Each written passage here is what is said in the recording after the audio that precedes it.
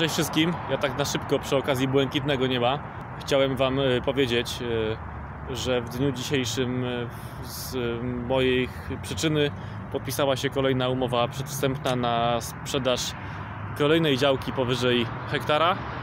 Także zakończenie szczęśliwe będzie za około 2-3 miesiące. Jeżeli macie coś na sprzedaż na terenie miasta Kielce lub w województwie świętokrzyskim, mówię tutaj głównie o działkach budowlanych, rolnych czy siedliskowych, serdecznie zapraszam do współpracy. Z tymczasem udanego weekendu. Siema, cześć.